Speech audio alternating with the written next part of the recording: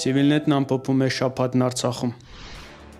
Շաբաթը փոթորկահույզ էր Արցախի համար։ Մարտի 8-ից ամբողջ հանրապետությունը գազ չունի։ Վնասվել է մայրուղային գազատարը, որը գտնվում է Ադրբեջանի վերահսկողության տարածքում։ Ադրբեջանը խոչընդոտում է վթարի վայրում վերականգնողական աշխատանքների իրականացմանը։ Բանակցություններ են առայժմ արդյունք չեն տվել։ Արդեն իսկ 20 դրամով թանկացել է բենզինը, չեն գործում գազով աշխատող հացի փռերը, տները ջերուցվում են էլեկտրաէներգիայով կամ փայտով։ Մարտի 10-ին Արցախի նախագահ Արայիկ Հարությունյանը անվտանգության խորհրդի ընդլայնված նիստին հավաստիացրեց, որ բոլոր մակարդակներում աշխատանքներ են իրականացվում, շտկելու ստեղծված իրավիճակը։ Եվ խանգարում են մենք մեզ մոտենալ, բարձ է որ կամ կազմակերպված է կամ եթե կազմակերպված չէ, առիթ է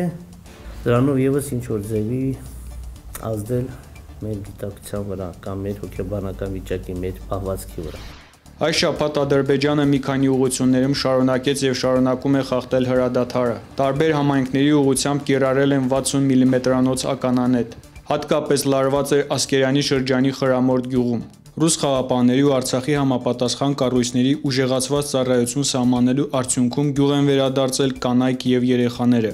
Մարտի 11-ին առավոտյան Ադրբեջանն արդեն 60 մմ-անոց ականանետը փոխարինել է 120 մմ-ով։ Այս անգամ թիրախը Ասկերանի շրջանի խնապատի ուղությունն էր։ Տաղավարդում էլ ադրբեջանցիները միացրել էին հայտնի ձայնագրությունը, բնակիչներին հայերենով կոչ անելով լքել տարածքը։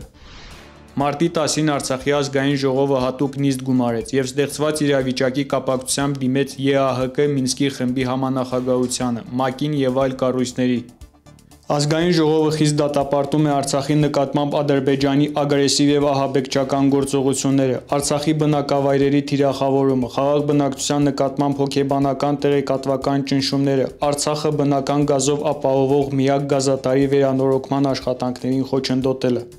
Այս շաբաթ Civilnet-ը եղավ Մարտունու շրջանի սահմանամերձ Նորշեն գյուղում։ Գյուղի միջնակարգ դպրոցի տնօրեն Սամվել Ավանեսյանին հուզում է անվտանգության խնդիրը։ Նա ասում է, որ գյուղացիները պահանջում են իրեն զինել։ Եթե վերջին օրերին խրամորթում ռուսների ուժեղացված ծառայությունը հանգստություն է հաղորդել բնակիչներին, ապա Նորշենին շարունակում է հուզել թերի անվտանգությունը։ Մարտի 4-ին ադրբեջանցիներն այնտեղ նույնպես միացրել են գյուղը լքելու մասին ձայնագրությունը։